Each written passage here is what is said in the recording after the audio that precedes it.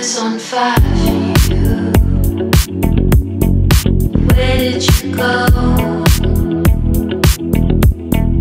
I could have died